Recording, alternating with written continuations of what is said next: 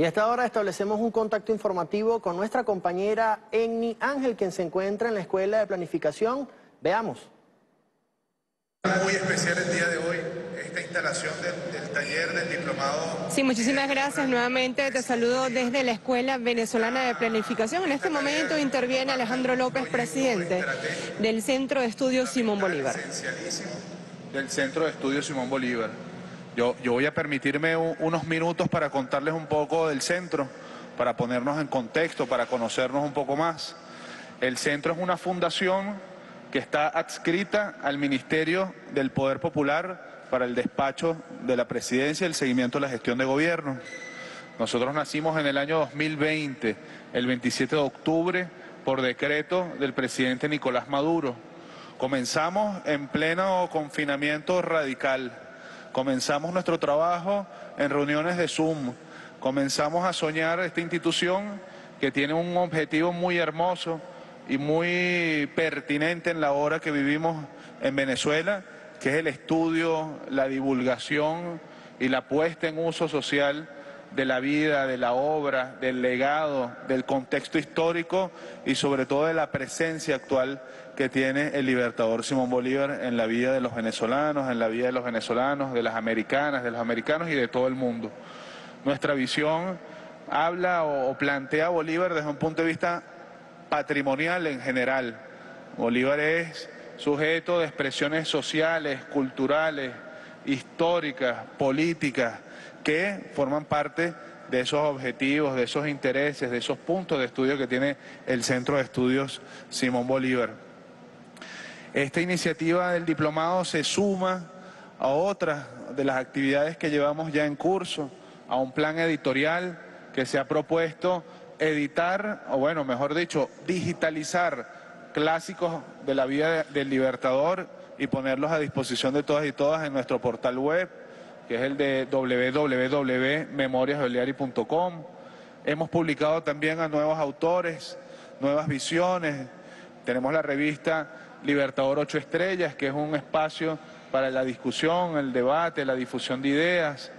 Tenemos el espacio Bolívar 21, una iniciativa de difusión audiovisual que ha contado con especialistas del país y que sigue contando con la colaboración de muchas y muchos de ustedes.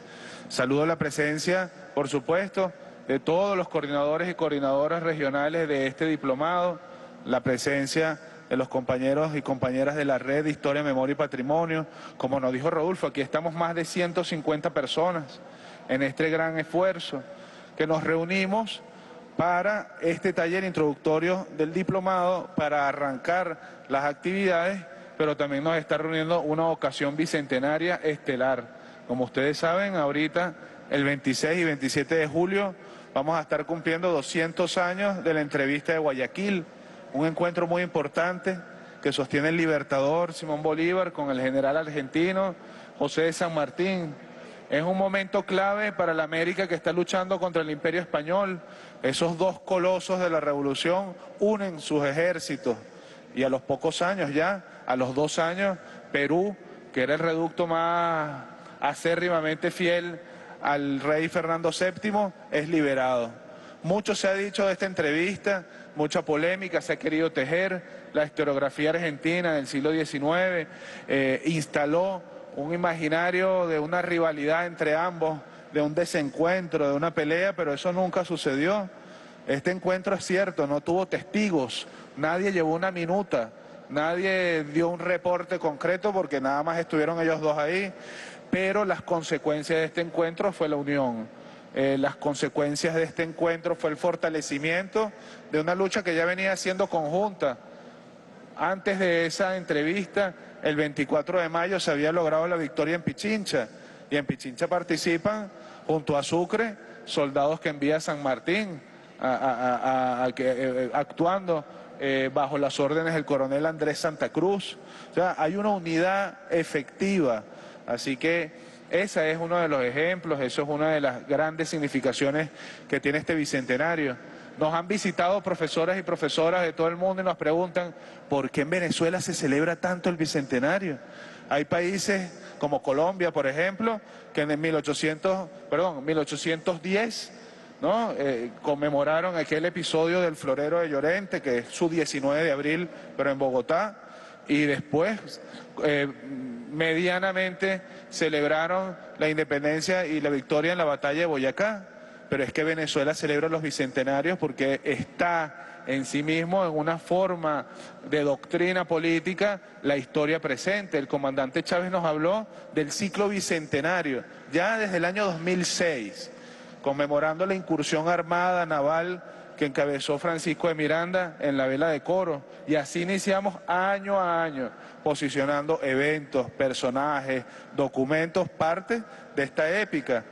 Y recientemente conmemoramos el bicentenario de Pichincha, incluso con mayor pompa, incluso con mayor movilización, con mayor importancia de que le dio el gobierno ecuatoriano.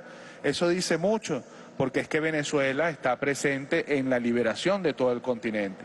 Así que ese es uno de los objetivos, es una de las tareas que cumple el Centro de Estudios Simón Bolívar, que tiene un papel o que busca tener un papel fundamental en lo que es la configuración de la memoria histórica nacional, en la organización de proyectos, actividades que llamen al recuerdo, que llamen a la construcción colectiva de la historia, bajo esta idea tan hermosa que es democratizar la memoria histórica, porque nosotros democratizamos en la, medida que garantizamos la inclusión del pueblo en el relato histórico, pero democratizamos también en la medida que damos las herramientas a todas y todos para contar su propia historia, porque todas y todos tenemos el derecho de permanecer, de estar presentes, de figurar y de participar en la historia. Y en parte de eso se trata este diplomado. La estrategia en este momento, que es la estrategia del autoaprendizaje, va precisamente hacia impulsar las fuerzas creadoras del pueblo. Es un esfuerzo que busca, bueno, bien eh, elaborar contenidos, eh, orientaciones, pero que en cada uno de nosotros está el impulso eh, la intención de crear además espacios para compartir, de vínculos con la comunidad, como dice la profesora Dulce, ya con este diplomado del Centro de Estudios Simón Bolívar hace presencia en el territorio, en la comuna, que es el gran aporte que hace la Revolución Bolivariana y el comandante Chávez al socialismo mundial. El Centro de Estudios Simón Bolívar, ahora bien, ¿de qué Bolívar estamos hablando? Cuando hablamos de Bolívar, ¿Qué nos interesa a nosotros? Porque Bolívar se puede decir que es el amante, que es el guerrero, que es el diplomático, que es el educador, pero concretamente nosotros nos hemos planteado al Bolívar de la igualdad social, esa igualdad de la que él habla en el Congreso de Angostura, en su discurso del 15 de febrero de 1819, la igualdad establecida y practicada en Venezuela. Ese Bolívar es uno de los Bolívares que a nosotros nos interesa potenciar. El Bolívar de la soberanía nacional, que habla de atender al desarrollo propio de los modelos, de las leyes, de las instituciones. No, no aislarse del mundo, pero atreverse a crear lo propio a la inventiva nacional. El Bolívar de la Unión Nuestra-Americana, esa idea que plantea, inspirado por el, por el primer libertador, Francisco de Miranda, ya Bolívar desde 1810 habla de la necesidad de la unión, recupera esa idea de Colombia, el proyecto, que en 1819 se transforma en una república, una república de, de más de 2.500.000 kilómetros cuadrados la Gran Colombia, como se conoce también en los libros de historia y en muchos enfoques, eh, alberga en su territorio, hubiese podido albergar cinco veces el territorio de España. Inglaterra, Francia, los Países Bajos, Alemania, España, caben y el territorio sobra dentro de ese territorio. Es una gran coalición de territorios para la defensa, así la concibe Bolívar. Tiene salida hacia el Pacífico, tiene salida hacia el Atlántico, tiene zonas productivas de la mayor relevancia del continente americano. Ese era el proyecto bolivariano de unión, ese es el proyecto que se mantiene hasta 1830, ese es el proyecto que es arrebatado en los 168 años de la Cuarta República, en ese periodo donde Bolívar permanece en el olvido en el olvido como líder popular, en el olvido como líder revolucionario, pero sí se instala como un culto, como una ceremonia, ¿no? Como un objeto de respeto y como un representante de un pasado que nada tiene que ofrecer al, presente. Otro asunto, ¿Por qué es bolivariana la revolución del comandante Chávez? ¿De qué se trata entonces la activación política de las ideas del libertador? Se trata del proyecto de la constituyente, porque la revolución independentista de Venezuela nace como una revolución constituyente. Lo que pasa el 19 de abril de 1810 en Caracas es una, básicamente se derroca el gobierno español y se convoca una Asamblea Nacional Constituyente. Esa asamblea se instala el 2 de marzo de 1811 con representantes de siete de las diez provincias, bastante significativo, 70%, ¿no? Representado. Esa es la primera vez es la primera instancia, es el primer Congreso Constituyente que se instala en el contexto de las colonias que combaten al Imperio Español en América. Ningún otro proceso independentista arranca de esa forma en, las colonias españolas de, de, América. Ese Congreso es el que declara nuestra independencia el 5 de julio y ese Congreso es el que promulga la primera constitución. Y esa constitución en su artículo 128, si mal no recuerdo, dice prácticamente que Venezuela está dispuesta a luchar por la liberación de todos los países, de todos los territorios que se sumen a la independencia. Dice específicamente a la nueva Unión Colombiana antes América Española. Ahí está la ideología de la Unión muy, muy presente. Además, eh, la revolución de Chávez, la revolución nuestra, es bolivariana porque es una revolución que pone en práctica el ideal del libertador de la mayor suma de felicidad posible. Esa precisamente es el meollo de la doctrina bolivariana que está contenido en el discurso de Angostura. Así que el Centro de Estudios Simón Bolívar no hace nada aislado en oficinas, no hace nada produciendo libros, produciendo revistas, produciendo audiovisuales, si no tiene la fuerza viva presente en el territorio, si no tiene la colaboración, la participación, el trabajo de todas y todos ustedes, que hoy inicia con esta clase, con este taller preparatorio del diplomado. Ahora, el diplomado ha estado dividido en módulos que ya han causado polémica, incluso, no polémica, pero sí discusión, ¿no? ¿Cuándo comienza la Primera República? ¿Cuándo termina la Segunda República? ¿Qué podemos entender nosotros por el proyecto de Colombia? ¿Cuáles son los principios de la doctrina bolivariana? Cómo está presente Bolívar en nuestro patrimonio. Esos son los grandes eh, momentos que hemos abordado en el diplomado. Y el gran valor que tiene esta iniciativa es que esa construcción la hacemos cada uno de nosotros, en función de la realidad del territorio, en función de nuestras interacciones, en función de cómo compartimos la información, cómo nos formamos y además cómo nos vemos inscritos en una gran comunidad, porque de eso se trata también este diplomado. Así que, bueno, nosotros, en principio, quiero enviarles también el saludo del profesor Pedro Calzadilla debe estar ya eh, por llegar. Eh, el profesor Pedro, bueno, es el líder del movimiento histórico del país. El profesor Pedro es el miembro fundador del Centro Nacional de Historia, pero también del Centro de Estudios Simón Bolívar.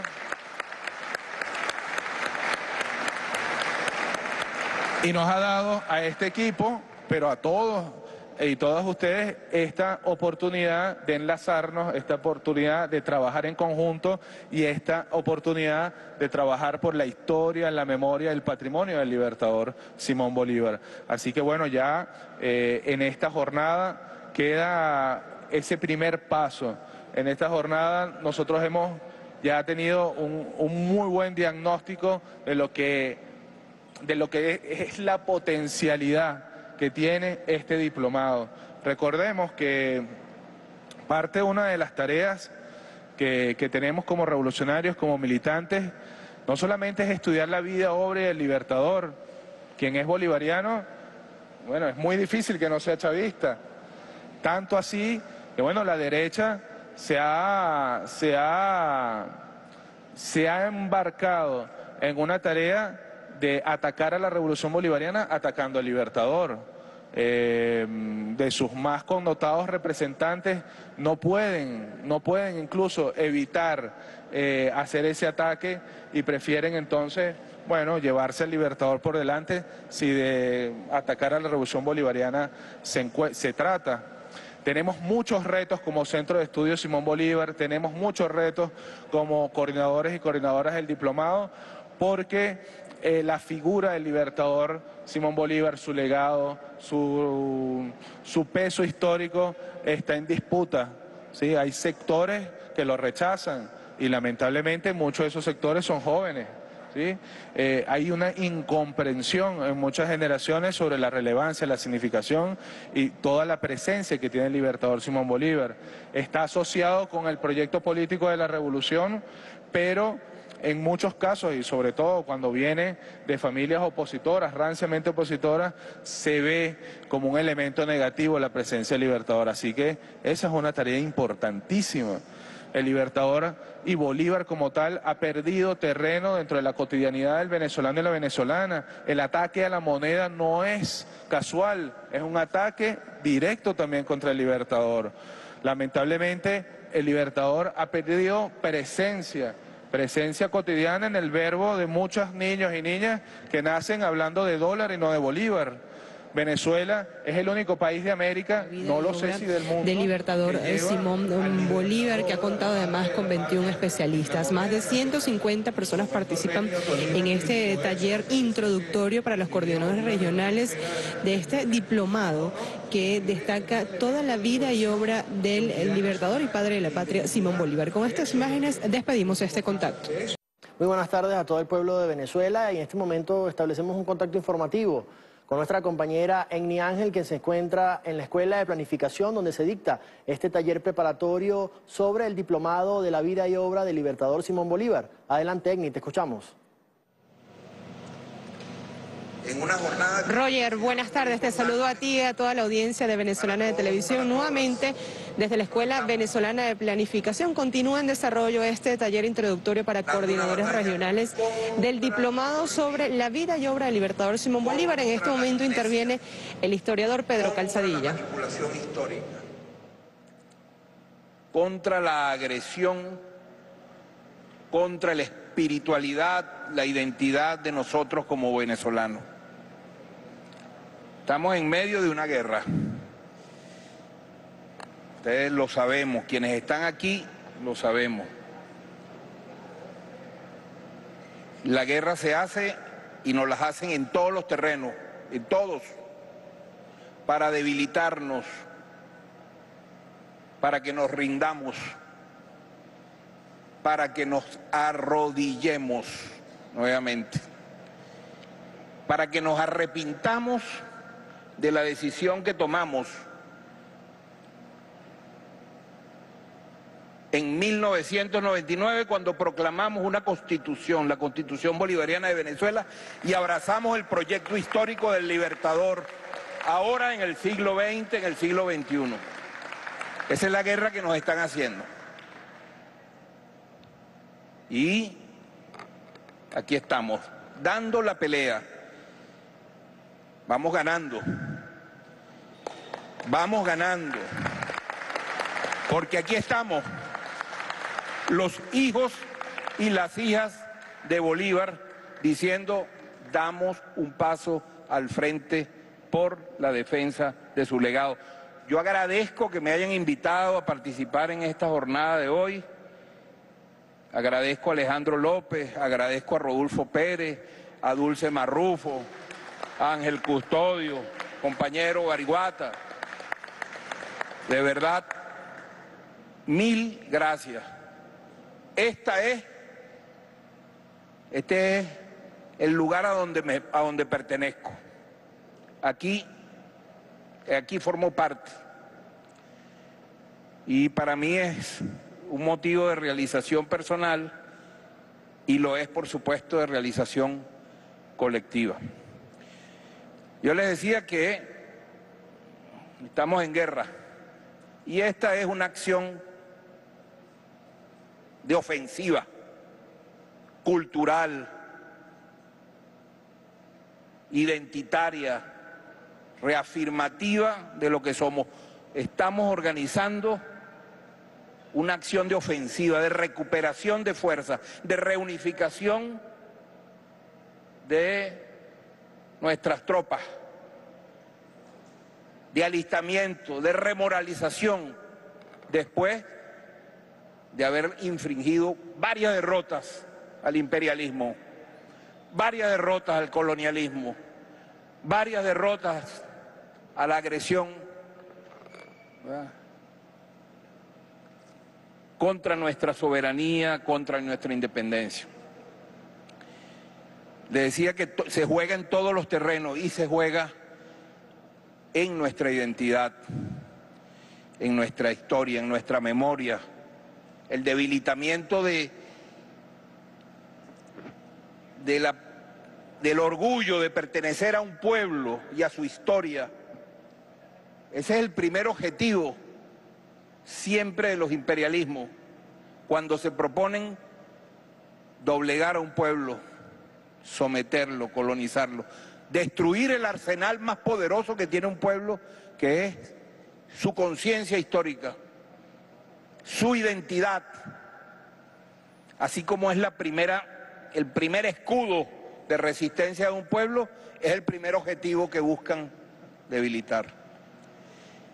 Y ellos han prendido su maquinaria, la prendieron hace mucho tiempo, prendieron todos sus dispositivos para arrasarnos en la espiritualidad, arrasar la fortaleza que como pueblo tenemos, que está fundada justamente en el reconocimiento y la reafirmación en los referentes de nuestra historia.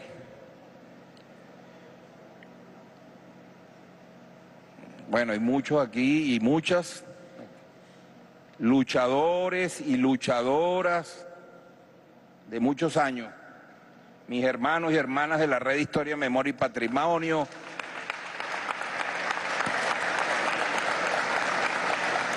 Aquí están muchos y muchas de ellas, hermanos, muchas caras. Este combate tiene tiempo. Tiene tiempo y apenas comienza. No nos, no nos llamemos engaño. Esta es una tarea permanente. Que lo digan las revoluciones que tienen ya muchos años que saben que todo el tiempo hay que ir por el corazón. Yo había los escuché muchas intervenciones, no escuché las mesas de trabajo, lamentablemente, pero sí vi transmisión en vivo de la instalación. Guariguata habla de la conmoción, ¿no? La conmo me gusta eso, ¿no? Tenemos que conmovernos. Lo decía el comandante Chávez. que sentirlo aquí. El que no lo sienta aquí, no, que se ponga, que, que vaya a otra, otra trinchera. Esto hay que sentirlo, porque es la única manera de pararse frente a lo que a lo que es un desafío permanente difícil, ¿no? Fíjense, yo venía pensando, hay que, hay que recordar permanente en qué estamos, dónde estamos y, qué hacemos aquí. Porque uno cualquiera puede decir, bueno, pero ¿qué hace esta gente allí ocupándose de esto? Si ya, ya de Bolívar sabemos todo lo que hay que hacer y ya hay libros escritos, ya sabemos cuándo estuvo en, cuándo pasó por Mérida, cuándo se consolidó su paso, cuándo fue Carabobo, cuándo llegó a Caracas victorioso, lo que dijo, más o menos, lo sabemos. ¿Qué más? Nunca será suficiente lo que podamos hacer para ir siempre más allá. El Cedilli, presidente del Consejo Nacional Electoral, en esta clausura del taller introductorio para los coordinadores regionales que participan en el diplomado sobre la vida y obra del libertador Simón Bolívar, nuevas estrategias que seguirán a las comunidades para territorializar lo que es el pensamiento bolivariano, para profundizar además eh, todos los conocimientos dentro de la militancia revolucionaria. Más de 150 historiadores y especialistas y expertos en materia de historia participan en este taller que inició desde tempranas horas de este sábado desde la Escuela Venezolana de Planificación. Con esta información despedimos este contacto. Adelante.